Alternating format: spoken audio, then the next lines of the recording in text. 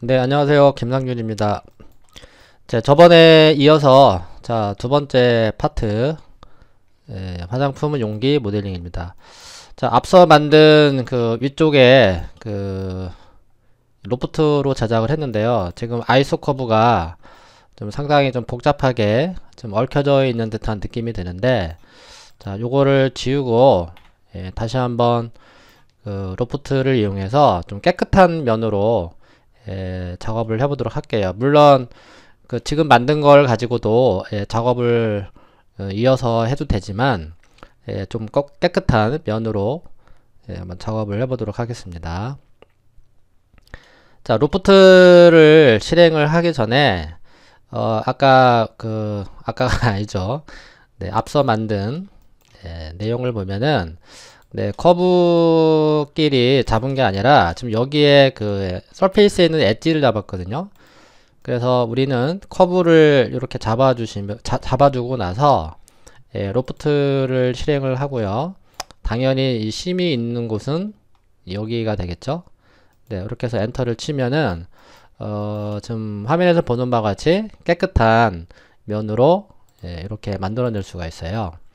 네, 요거는 제 현재 면이 뒤집힌 거니까 예, flip direction 명령을 사용해서 예, 면을 뒤집어 주면 되겠습니다. 네, 이렇게 해서 loft의 면을 좀 깨끗한 상태로 이제 제작을 했고요.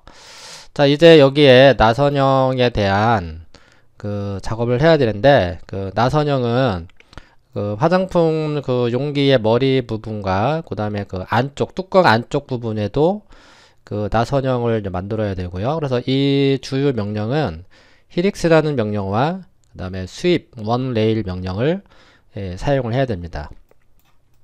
네, 그러면 나선형을 만들기 위해서 나선형이나 나사선이나 아마 다 아마 같은 말일 거예요.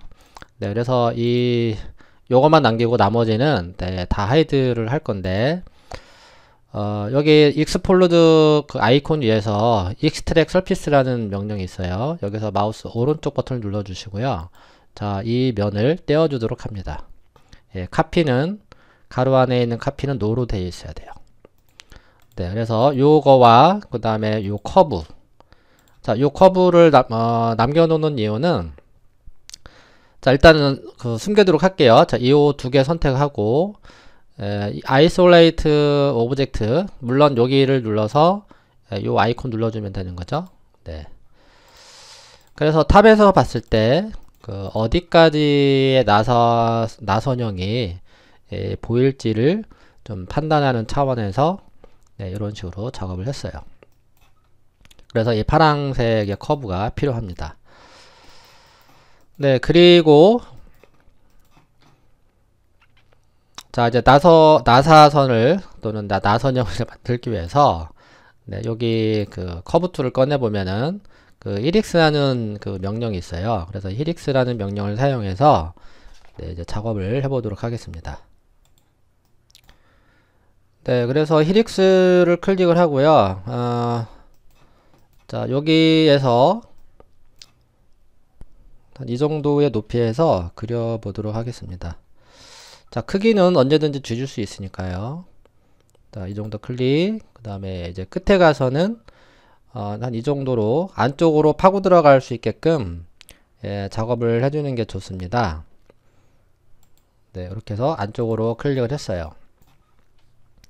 아, 지금 grid snap이 1.0이라 조금 여기 간격이 조금 약간 커 보이긴 하는데 어, 옵션에 다시 들어가서 snap spacing을 어, 한 0.1 정도로 예, 다시 내려주시고요.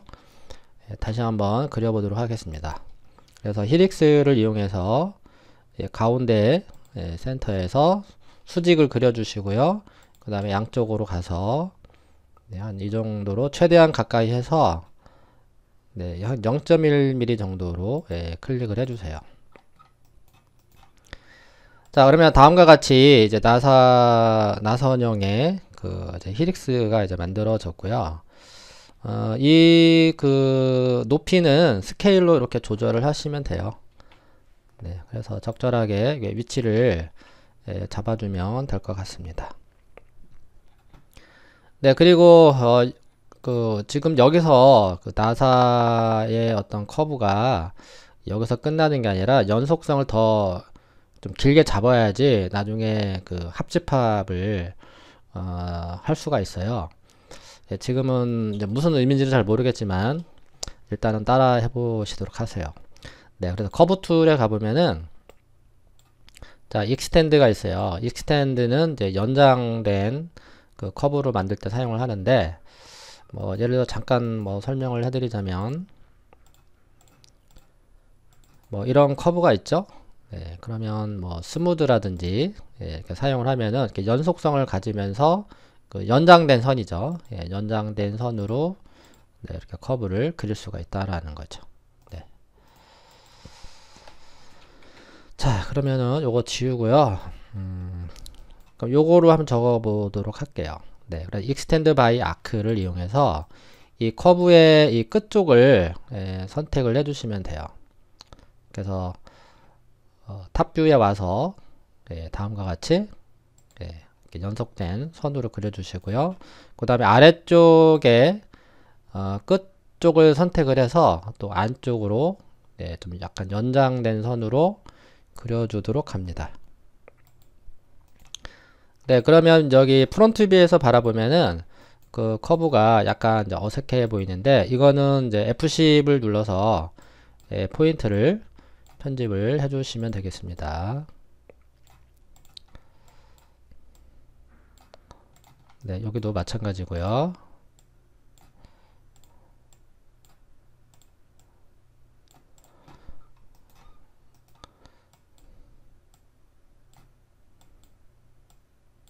네, 그래서 다음과 같이 그 연장된 커브와 이제 포인트를 이제 수정을 했습니다.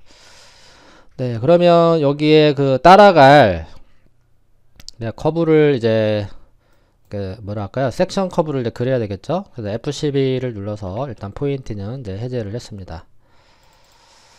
네, 그러면 front front view에 그 삼각형의 그 나선형 형태를 이제 그려주시면 됩니다. 네, 그래서 여기 그 메인 툴바에 그 polygon 툴이 있어요. 자, 그걸 클릭을 하고요. 자, num side가 아마 뭐 다섯 아니면 6으로 되어 있을 건데 그거를 3으로 주고 엔터를 치시면 됩니다. 이렇게 num side 클릭하고요. 그리고 아무데나 여기 front view에 예, 클릭을 해서 어, 1.5를 주고 엔터를 치시면은 그 크기로 예, 작업이 됩니다. 이렇게 크기가 만들어져요. 그래서 Shift 키를 누른 상태에서 예, 마우스를 오른쪽으로 하얀색 실선이 나왔을 때 네, 이렇게 클릭을 해주면 될 것 같고요. 그리고 이제 이 삼각형이 이제 이 그 용수철이잖아요. 나사 나사의 형태를 이제 따라가야 되니까 그 명령어는 그 transform에 있는 그 orient perpendicular to curve라는 명령이 있어요. 이거는 그 전에 그 sweep one rail을 설명할 때 그때 설명을 했던 거니까 예, 기억이 안 나는 분들은 다시 한번 그 영상을 참조를 하시면 될 것 같아요. 네, 그래서 다시 transform에 와서 어, 이 명령을 실행을 합니다. 그래서 따라갈 물체 선택을 하고요. 엔터를 치고 어, base point는 어, mid snap으로 여기를 잡아주시면 돼요. 그래서 mid snap을 켠 다음에 네, 여기를 클릭을 해주고요. 그 다음에 어, helix 예, 커브를 선택해서 어, 맨 끝에다가 예, 클릭을 하면은 다음과 같이 예, 이렇게 따라가는 형태가 되겠죠. 네, 그래서 그 sweep one rail 명령을 사용해서 이제 마무리를 하면 되겠습니다. 네, 그래서 one rail을 클릭, 자, select rail이 나왔을 때 자, 이 helix 커브를 선택을 하면 되겠죠. 그 다음에 cross section curve는 요 삼각형 클릭을 합니다. 네, 그리고 엔터를 예, 치게 되면은 어, freeform과 roadlike 이제 두 가지가 나오는데 어, freeform은 이게 회전이 되면서 이 삼각형이 좀 약간 뭐랄까 한 바퀴를 돌면서 이렇게 회전을 해요. 이 커브를 따라갈 때. 약간 뒤틀린다고 보시면 되고 그래서 roadlike는 그 뭐랄까 삼각형이 그 뒤틀리지 않고 이 삼각형 그대로 예, 그대로 유지를 하면서 얘를 따라가는 거라고 보시면 돼요. 네, 그래서 이 freeform과 roadlike를 이렇게 눌러 보시면은 차이점이 예, 뭔지 아실 겁니다. 그래서 roadlike를 예, 선택을 해서 OK를 주면은 이렇게 보는 바와 같이 그 나선형 형태가 예, 이렇게 잘 만들어지게 됩니다.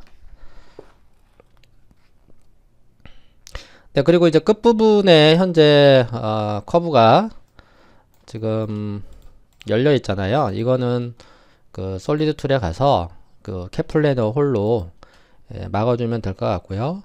그리고 이거는 어, 모서리의 radius는 예, 한 0.5로 처리를 하도록 하겠습니다.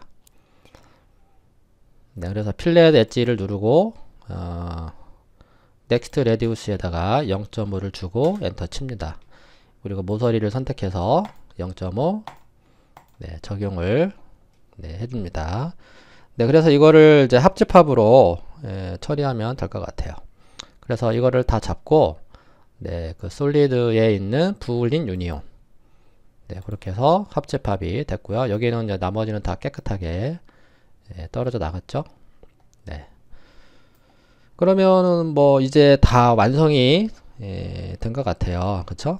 예, 나머지 이제 물체를 불러와서 네, 다시 조이를 해주면 되겠습니다.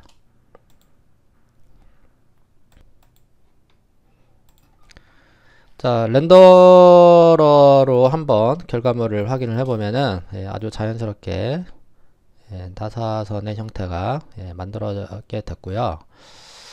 음, 여기가 조금 칸이 좀 넓어 보이기는 하는데 혹시 어, 이 간격이 좀 넓어 보이면 다시 언두를 해서 예, 좀 다시 좁게 예, 작업을 하셔도 무방합니다. 자 그러면 이번에는 이제 뚜껑을 이제 제작을 이제 해야 되겠죠. 네, 그래서 front view에 또 가서 자 커브를 또 그려보도록 하겠습니다.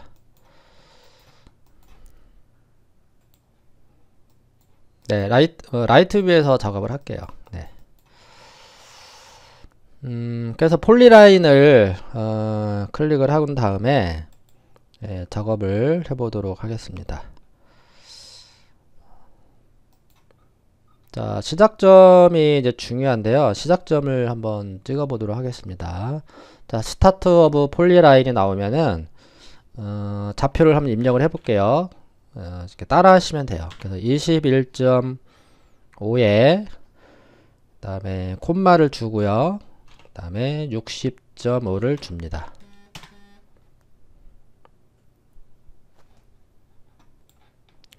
네, 그리고 이제 next point를 이제 물어보면은 어, 치수를 또 입력을 하면 되거든요.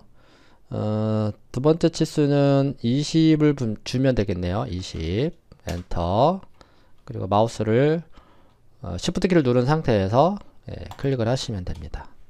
그리고 좌측으로는 얼마를 주시냐면은 어, 7.0을 줍니다. 7.0 자, 7을 주고 엔터를 치고요. 또 마우스 클릭.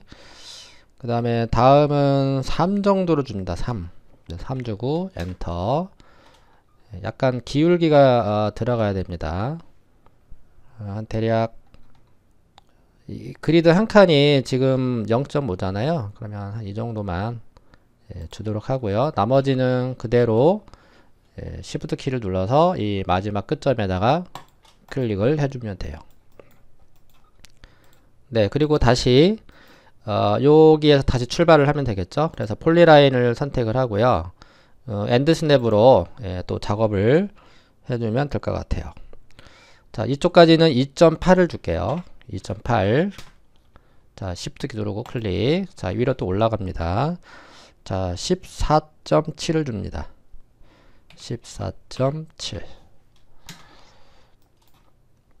예, 또 다시 이제 왼쪽으로 그대로 그냥 가면 될 것 같아요. 그쵸? 네, 그래서 Shift 키를 누른 상태에서 예, 클릭 해주면은 네, 이런 커브가 예, 완성이 되겠습니다. 자, 요, 요거는 그 제가 치수를 한번 표시를 해주고요. 어, 화면을 뭐 잠시 멈춰 놓고 작업을 하셔도 될 것 같습니다. 어, 치수를 한번 표시를 한번 해볼게요. 네, 여기서부터 여기까지 치수. 그리고 여기. 그 다음에 요 가운데 2.8이죠? 어, 지금 헷갈릴 수 있기 때문에 어, 얘네들만 남기고 나머지는 잠시 hide를 하도록 할게요 네 요것도 네, 이거는 join을 해 놓을게요. Control J 키 눌러서.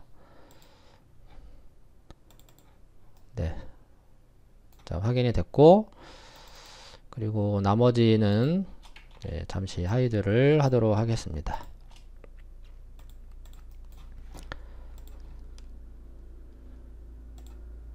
네, 여기부터 여기까지. 여기도 여기까지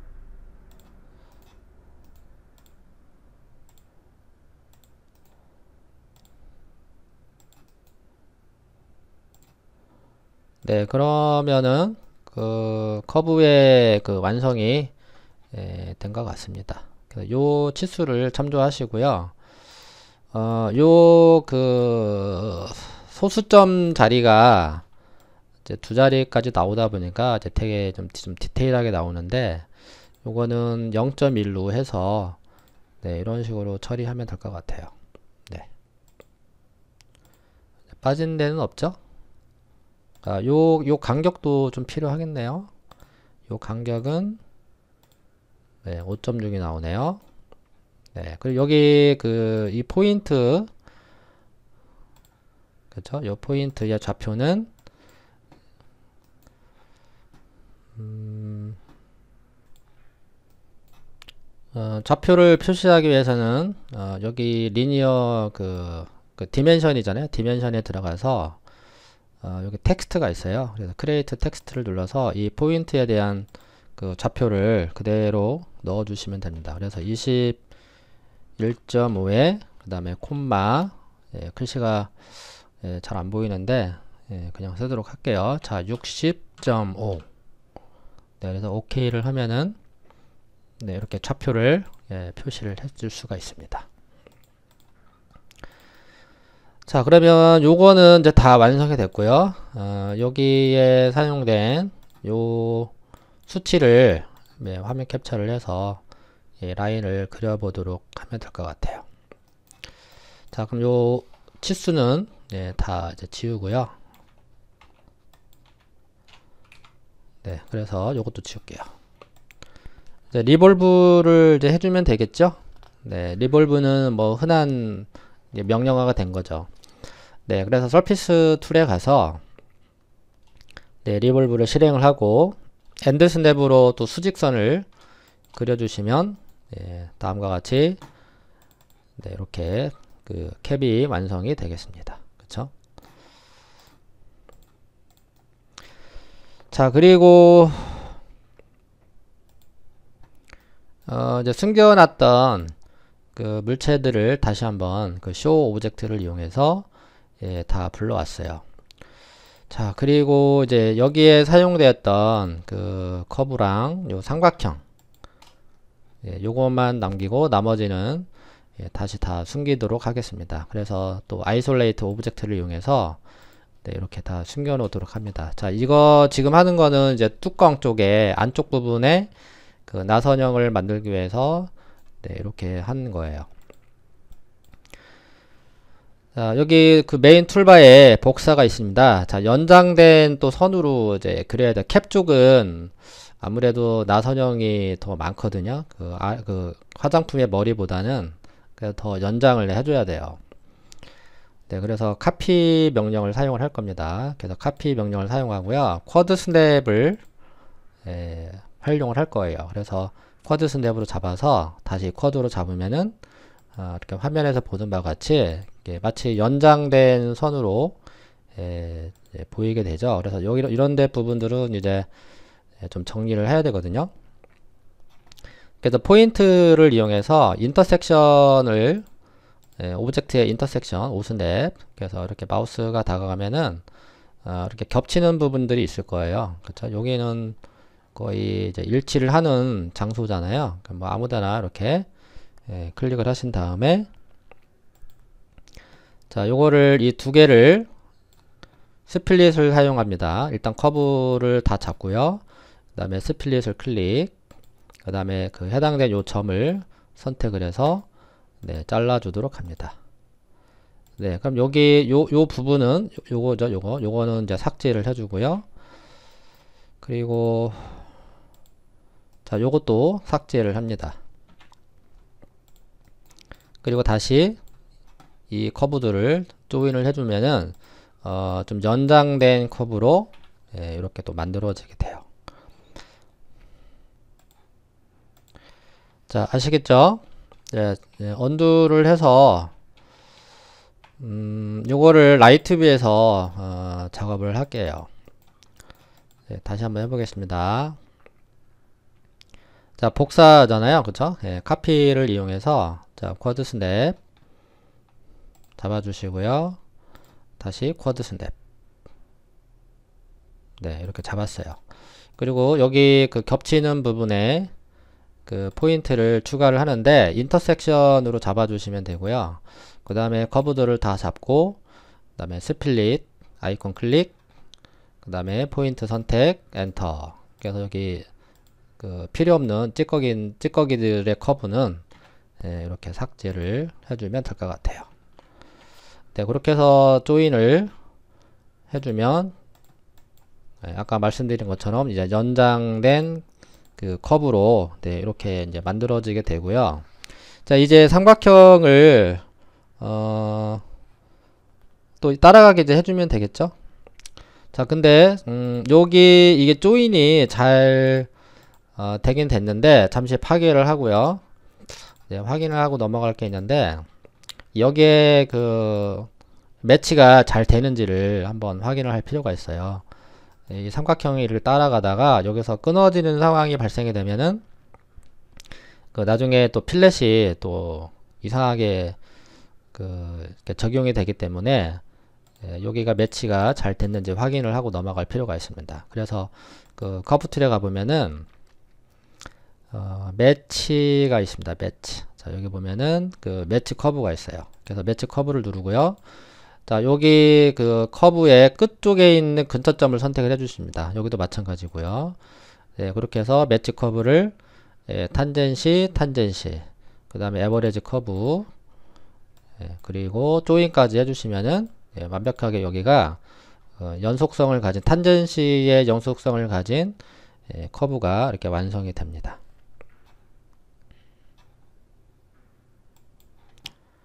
네, 그렇게 해서 이제 어, 앞에 했던 방법으로 그 원레일 명령으로 얘를 이제 따라가게 해주면 되는데 그 아무래도 그 숨놈과 앞놈이 이제 뭐라 할까요 유격 없 유격이 약간 있어야지 이렇게 잠그는 형태가 되겠죠.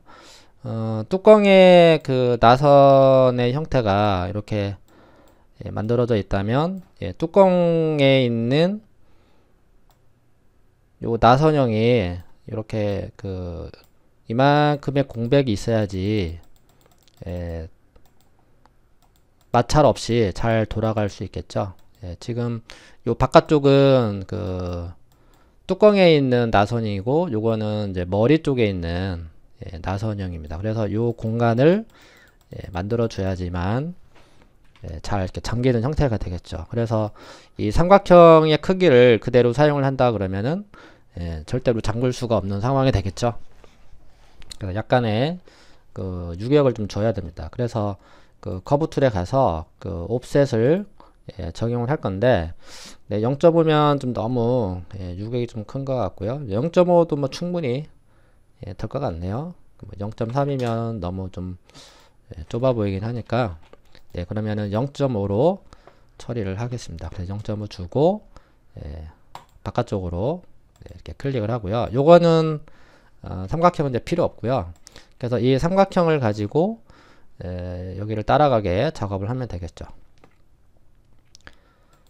네, 그러면 원 레일을 이용해서 에, 작업을 해야 되겠죠. 자, 레일 선택, 그 다음에 cross section, enter, enter, 네, road like로 선택해 주시고 오케이.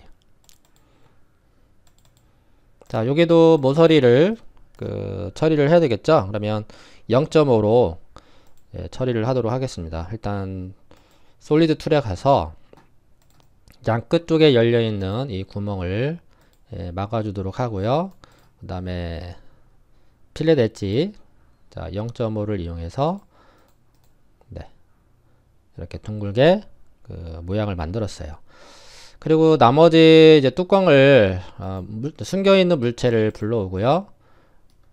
네, 잠시 하이드 하겠습니다. 그럼 여기에서 이제 어떻게 하면 되나요? 이제 차제팝으로 어, 빼주면은 그 안쪽에 나선형이 만들어지도록 만들어지겠죠.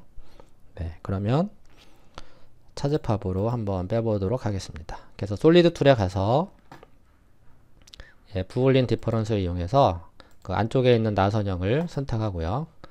자, enter를 치면 예, 다음과 같이 예, 완성이 되겠습니다. 자, 요런 네, 찌꺼기가 조금 보이긴 하는데 예, 다시 한번 확인을 해볼까요? 네, 아, 좀 침범을 좀 했는데 음, 값을 너무 크게 주는 바람에 조금 예, 미스가 좀 있었네요.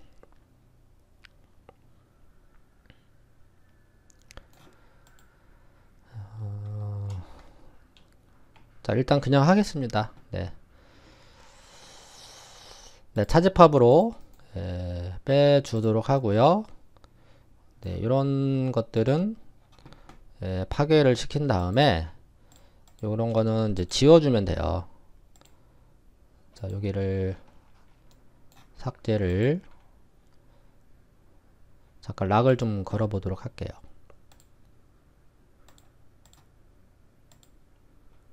네, 그럼 삭제를 하면은 여기가 구멍이 나겠죠? 이 구멍이 난 부분은 그 언트림으로 정리를 해주시면 돼요. 그래서 그 서피스 툴에, 툴에 있는 그 언트림을 이용해서 예, 여기를 이렇게 메꿔 주시면은 예, 될것 같아요.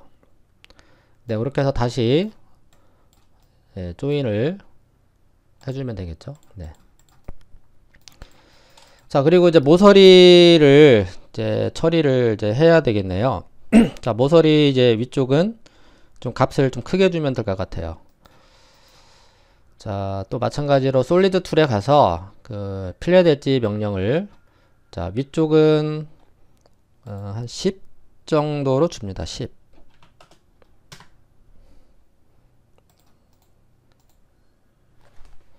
네, 다시 한번 적용을 해 볼게요.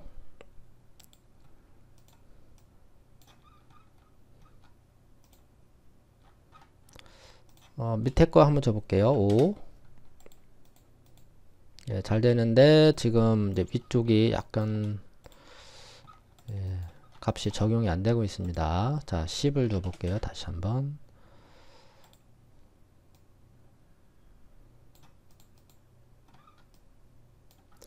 예, 값이 얘가 좀 음, 많이 누워져 있어서 그런 것 같은데 어, 그러면은 잠시만요. 네, 한 15, 예, 이거는 또 안 먹고요. 네, 좀 여기를 좀 정리를 하고 넘어가도록 할게요. 어, 이거는 뚜껑을 잠시 떼어내서 네, 삭제를 하고 네, 여기는 뭐 이렇게 찌꺼기가 좀 보이긴 하는데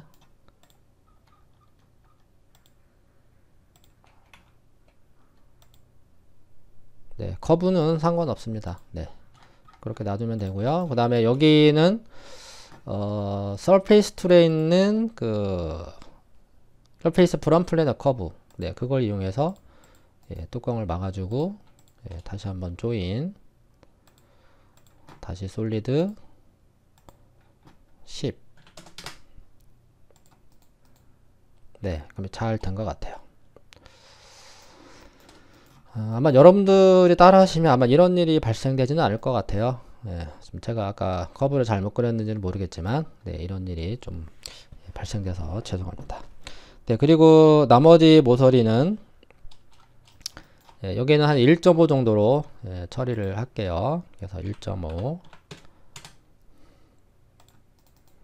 네, 잘 들어갔고요. 그 다음에 아래쪽은 0.2 정도로 처리를 할게요.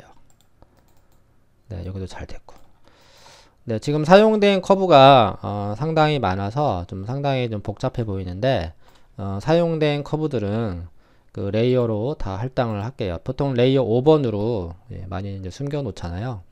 예, 물론 이제 저만의 방식이에요. 자, 지우기는 너무 아깝잖아요. 예, 열심히 이렇게 만들어 놨는데 다음에 뭐 어떻게 사용할지는 모르겠지만 뭐 또 클라이언트가 어, 뭐 요구사항에 따라서 예, 모양이 또 바뀔 수도 있어요. 물론 지금 하는 거는 예, 개인이 그냥 작품 만드는 거니까. 네, 그러면 select 탭을 눌러주고 그 select curve를 눌러서 어, 여기에 사용된 커브를 어, layer 5번으로 예, 할당을 해주세요. 그래서 마우스 오른쪽 버튼 누르고 change object layer를 눌러주고 여기 그 전구 아이콘을 눌러주면은 예, 이렇게 사라지게 됩니다. 네, 나머지 물체를 네, 잠시 불러오면은 네, 이런 결과가 되겠죠. 네, 다시 한번 셀렉트에 가서 혹시 커브가 있는지 확인하고요. 이제 없네요. 네. 자, 이제 뚜껑 쪽에 이제 글자를 이제 넣을 건데요. 그 지금 나가는 거는 아무래도 이제 처음 나가는 건데 네, 나가기 전에 앞서 자, 여기도 네, 모서리를 좀 처리를 하고 넘어가도록 하겠습니다. 자, 솔리드 툴에, 가, 툴에 가서 또 필렛 엣지를 어, 선택을 한 다음에 자, 차례차례 이 모서리를 예, 클릭을 해봅니다. 자, 이렇게 지금 수치가 어, 1.2로 들어가 있네요. 네, 다시 한번 네, 0.2로 처리를 하고요. 네, 다시 한번 모서리를 클릭을 합니다. 네, 그리고 엔터. 예, 전체의 0.2로 늦지는 않을, 않을 거예요. 그래서 이 중간 부분은 음, 수치를 좀 바꿔 볼게요. 여기는 0.5로 처리를 할게요. 그래서 마우스를요, 요, 여기를 찍든 여기를 찍든 둘 중에 하나 포인트를 이렇게 찍어주세요. 예, 그럼 여기 위쪽에 그 command에다가 수치를 넣을 수가 있어요. 예, 물론 마우스 커서를 움직여서 이 fillet 값을 조절을 할 수 있지만 숫자를 직접 입력을 하려는 게 낫겠죠. 그래서 0.5를 주고 엔터를 치면 이렇게 0.5로 바뀌게 되고요. 그 다음에 여기 중간에 그냥 0.1 그대로 가고 여기 끝에 부분은 좀 R을 좀 더 줄게요. 한 0.8 정도로 예, 수치를 변경을 했습니다. 그리고 엔터를 예, 마지막에 치면은 어, 이렇게 각각 플랫이 따로따로 예, 이렇게 적용, 적용이 돼요. 예, 요것도 잘 알아두시면 좋을 것 같아요. 네, 그러면 이제 모서리의 필렛 값도 이제 다 이제 처리가 됐고요. 네, 그래서 숨겨놨던 그 뚜껑을 예, 불러오도록 하겠습니다. 네, 그래서 그 이제 위쪽에 그 음각 글씨랑 그다음 앞쪽에 그 로고를 예, 넣어주면은 될 것 같고요. 그 다음에 재질과 렌더링까지 해서 예, 나머지를 예, 마무리를 하면 될 것 같아요. 일단은 두 번째 강, 두 번째 강좌는 예, 여기까지 마무리하는 걸로 하겠습니다. 예, 감사합니다.